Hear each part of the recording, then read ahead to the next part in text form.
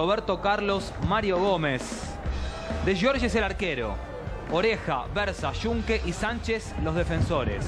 Buffarini, Lertora, Navarro, Acuña los mediocampistas. Y hoy dos delanteros bien marcados. Pereira Díaz y Divani.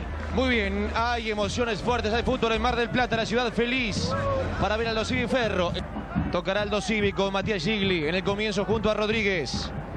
En el fútbol para todos sigue la primera B Nacional. Ya goleó Instituto primer turno, 4 a 0 en Villa Crespo Atlanta. Estamos viendo en Mar del Plata. Aldo Civi Ferro. La sacaba en el medio. Blanco, esperaba el delantero Rodríguez. Se cruza Junque que devuelve. El rebote le queda a Mariano Herrón. De taco propone. La busca desde afuera Gigli al arco. ¡Oh! De Giorgi la manotea y la manda al córner.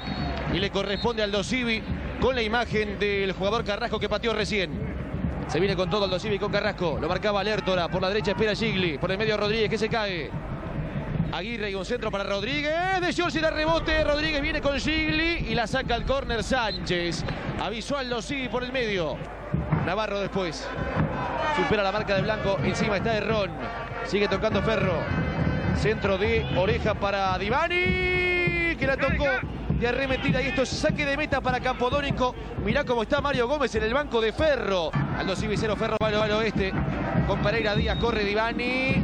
Salva. Esto no vale. Había una posición adelantada que cobraba el asistente número uno. El número dos, perdón. Hablamos de Stewart. Y le corresponde a Aldo Civi. Lo va a hacer al tiro libre Campodónico. ¿Era offside? De quien ataca por la izquierda puede llegar a quedar la duda, pero aquí no, ¿eh? De ninguna manera. Pereira Díaz seguro no y de Divani parece que tampoco. La regala Errón, corre Pereira Díaz, infracción de Furios para tarjeta, Matías. El primer, primer amonestado del partido, el número 2 de Aldo Civi, Furios. No tiene alternativa Furios, va directamente aquí a cruzarlo al delantero sabiendo el claro que cometía la infracción.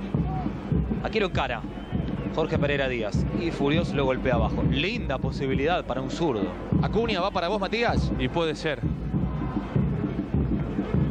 Preparado también Versa que recibe alguna indicación. Después te voy a contar algo sobre Versa, que algunos pensaron que no podía llegar a jugar este partido. Muy bien. Buffarini como diestro, Acuña como zurdo. ¿Por qué vas, Matías, allí? Y tengo dudas. El 7, ojo. ¿eh? Ahí la distancia. La barrera está a tono con lo que pide la FIFA y con lo que está en el reglamento, por supuesto.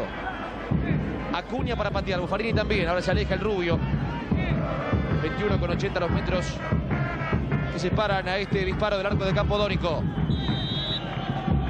Acuña. ¡Gol! ¡Gol!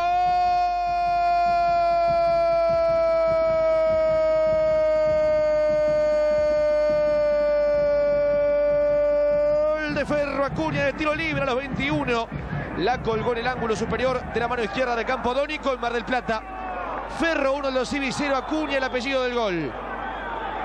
Inmediatamente después de cometida la infracción de Furios decíamos, qué linda posición para un remate de un zurdo, ¿no? Y hacia allí fue Acuña. Se ubica de costado casi a la pelota, le pega con la parte interna y la acomoda, sin tanta potencia, ¿eh? con mucha comba junto al palo izquierdo de Campodónico que solo atina a mirar porque sabía que no llegaría. Lindo gol de Ferro que saca ventaja a los 21 minutos. Primer gol de Acuña en este torneo de la Primera B Nacional. ¿Les puedo decir una cosa? Sí. Javier Matías Ferro con este triunfo queda a 3 de la zona de ascenso, donde está River. Está prendido el equipo de Mario Gómez, ¿sí? Liga después. Emerge la marca de Villalba, pelea otra vez Divani, la corre Pereira Díaz. Lucha contra Furios, por el medio para el segundo Divani. Llega Pereira Díaz, Ferro con Navarro y el remate que desvía Villalba, es córner, esto para el conjunto del Caballito. De primera le entró Navarro y por fortuna para los Civi apareció un cruce Salvador. Juega mejor ahora el conjunto de Caballito, es superior al Aldo Civi. Lo establece no solamente en el resultado con el 1 a 0 por el golazo de tiro libre de Acuña, sino porque está ganando la mitad de la cancha y no lo deja salir al local. Se quedó con las ganas de por ahora. Sacaba Sánchez. La recibe el delantero Divani. No puede Villalba por el medio siempre Pereira Díaz. Por acá la maneja Navarro otra vez con Divani. Va Alex Banfield que se acomoda, se posiciona Divani. Afuera. Otro remate para Ferro. Está mucho mejor que su rival en 27. Miren cómo empieza la jugada que después de desembocar en la falta. Y luego el gol. Furios para Ron, este que se equivoca cuando quiere jugarla hacia atrás, la infracción sobre el centro atacante Jorge Pereira Díaz y después todo se resume en esta magnífica pegada de Marcos Acuña, dedicando la pelota cerca, al ladito del palo izquierdo, para que Ferro gane este partido, que incluso ahora justifica muy bien. Aguirre. Se viene para buscar la Carrasco. Final de la primera parte. En Mar del Plata, Aldo Civi 0, Ferro 1. De tiro libre Acuña a los 21 marcó el tanto para el conjunto de Caballito. Bajo la lluvia y los silbidos se van los jugadores del conjunto local, Javier. Sí, expresa su disconformismo con lo visto en este primer tiempo. El público local, Aldo Civi había comenzado mejor, en un momento en el cual decíamos que el partido era realmente entretenido e interesante. Después de equilibrarlo, Ferro logró sacar ventaja con el lindo gol de tiro libre, anotado por Marcos Acuña.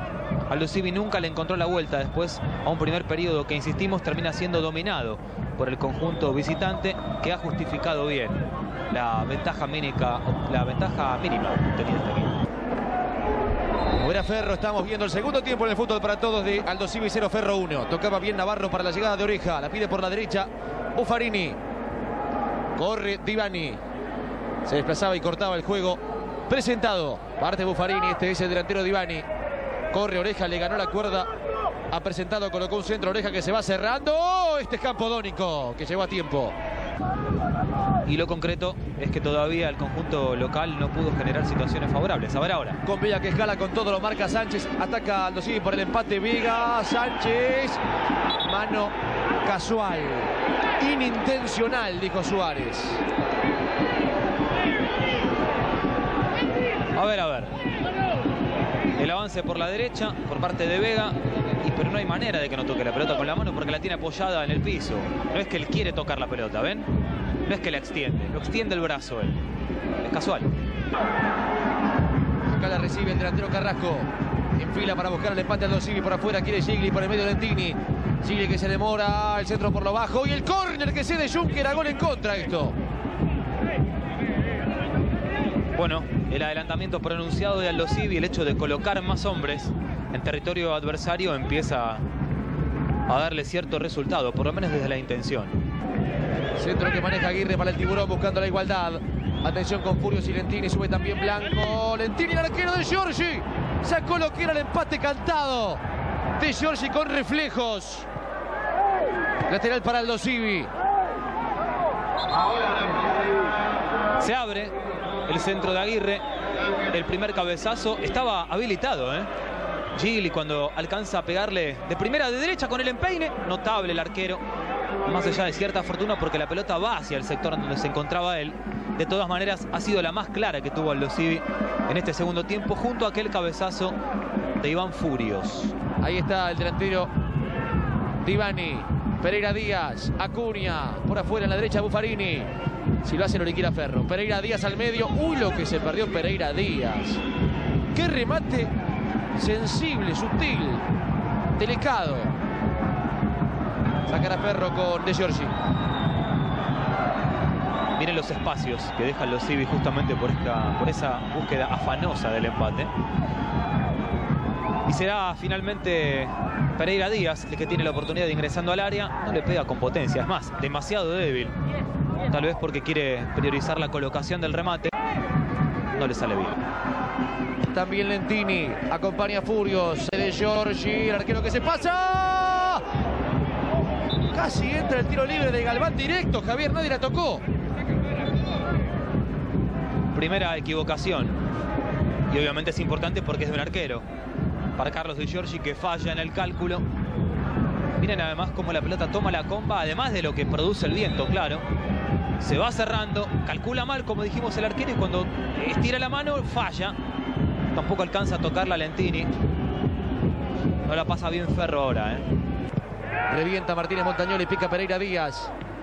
Furios, mano a mano para el segundo, Pereira Díaz. Expulsión o gol. Pereira Díaz cruzado para el segundo, lo tiene mano a mano Pereira Díaz. Pegó en el palo y salió la pelota. Perdón, otra vez Pereira Díaz. Esto es córner, salvó Campodónico. Tiro de esquina para Oeste que sigue dándole vida a su rival. De un excelente segundo tiempo a esta equivocación para el pobre Iván Furios, que estuvo a punto además de cometerle falta y además, como lo marcaba Pablo, se hubiese ido expulsado porque ya tenía tarjeta amarilla. Igualmente era roja directa. Y el arquero que le gana en la intención campodónico a Pereira Díaz, que ha sido partícipe de muchos ataques de Ferro, no siempre bien resueltos. Buffarini que se esfuerza. Infracción contra Blanco, tarjeta para Buffarini y peligro inminente en el área de Ferro. Tercer amonestado en Ferro. Seremos reiterativos, pero esta es la forma mediante la cual mejor llegó al Losivi. Con la pelota por arriba, naciendo desde un tiro de esquina o desde un tiro libre, como aquí. Ya no está Aguirre, por lo tanto le pega a Carrasco. Se, va a cerrar. 47-30 del segundo tiempo. Carrasco y el tiro libre puede ser la última del partido para que empate el Losivio, se refugie y gane el partido Ferro. El encuentro está 1 0 a favor de Oeste. Amaga para que no haya offside Carrasco. En el medio queda enganchado Furios. También viene Blanco. Lentini. No vale esto, no vale, no vale. Levantó la bandera el árbitro asistente. Stewart. Jugada previa anulada por offside.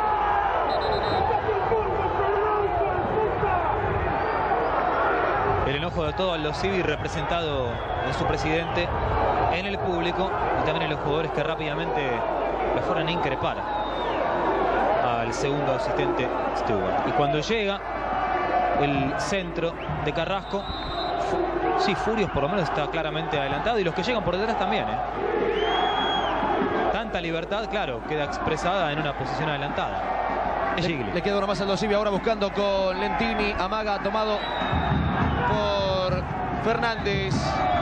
Ganó Ferro Mar del Plata 1 a 0 con el gol de Acuña de tiro libre a los 21 de la parte inicial. Final polémico pero acertado por los árbitros.